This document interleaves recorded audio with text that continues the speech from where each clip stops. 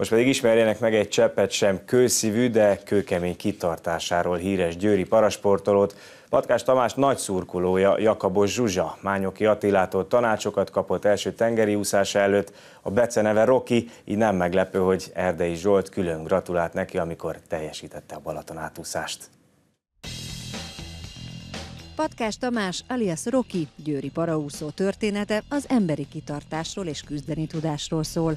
A medencéhez korábban annyi köze volt, hogy néhány évig úszómesterként dolgozott. 1994-ben egy vasúti baleset során elvesztette két lábát, 20 évvel később pedig úgy hozta az élet, hogy 2014-ben elkezdte az úszást. Mozgáshiány és a, az elhízásom vezetett erre rá, és egy barátom úszolására kezdtem, aki ezzel szekált, úgymond, hogy csináljak már valamit. A legelső edzésére, amikor is 500 méterrel kezdett, nagyon is jól emlékszik, de nem azért, mert olyan jól esett volna. Félénk voltam, meg gátlásos, és mindennek ellenére összeszedtem magam, bementem a vízbe, ami nagyon nem ment.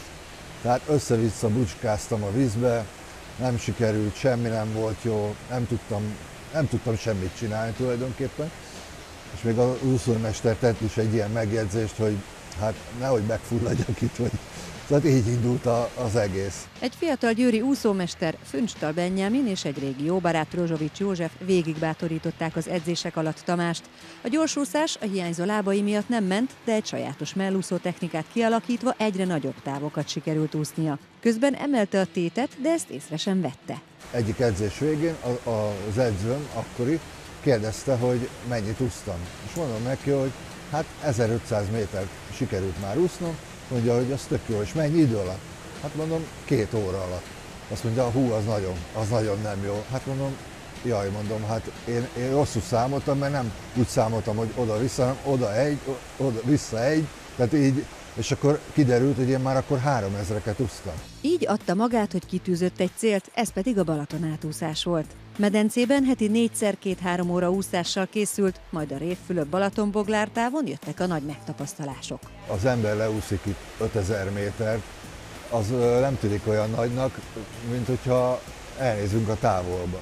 Nagyon sok. Aztán jöttek sorba ugye a hullámzás, a, a hideg-meleg áramlatok, a, ugye az első úszásnál az idő sem volt annyira jó. Rajtam is keresztül úsztak, és ütöttek, vágtak az emberek, szóval az első az ilyen volt, hogy megtapasztaltam a versenyhelyzetet.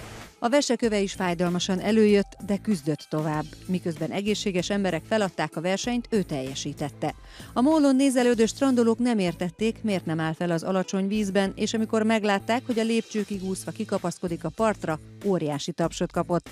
Erdei Zsolt félbeszakította egy tévényiratkozatát, és rögtön oda sietett Tamáshoz gratulálni.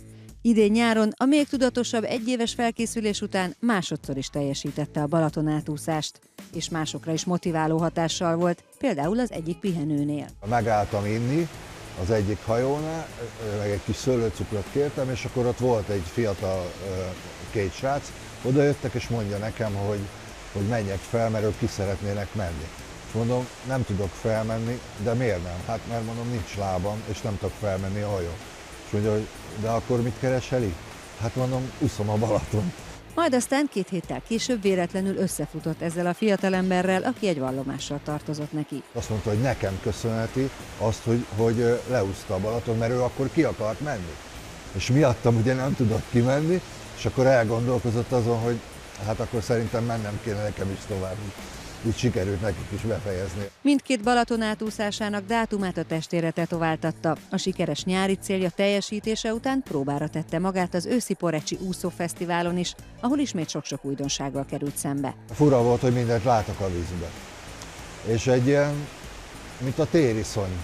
Egy olyan keletkezett bennem, mert hatalmas ugye, űr, a halak, a korallok, a testem nem működött a sorsvízbe valamiért or, vagy fejnehéz lettem, tehát lefele mentem a vízbe, és nem tudtam visszajönni levegőre, abba az alaphelyzetbe, amiben ugye szoktam feljönni. De ezeket is megoldotta, alkalmazkodott a helyzethez, megküzdött a medúza csípésekkel, a hatalmas víztömeg áramlataival, sok tengervizet nyelt, de nagy erőfeszítések árán teljesítette az ezüstérmet jelentő 3 kilométert.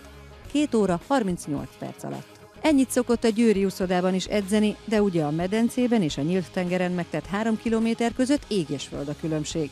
Jövőre az aranyérmet jelentő 5 kilométeren is elindul majd az Isztria félszigeten, illetve a Balaton, a Velencei tó és a Fertőtó átúszáson is. Mert hogy erről szól az életek két éve, célok, edzések, felkészülési versenyek, főversenyek. Az úszás pedig a hétköznapi gyakorlatban is segít Tamásnak. Nem tudtam a két művégtagommal annyit gyalogolni régebben. Nemrég voltam barátaimmal Krakóba, Lengyelországba, egy, szinte egy egész napot végig gyalogoltam, és ezt csak ennek tudom be, mert előtte nem tudtam megcsinálni, és lihegtem, és elhagytam magam, és ne, és nyafogtam, és stb. És most meg azért megyek és csinálom. Ezt mindenképp a sportnak köszönhetem.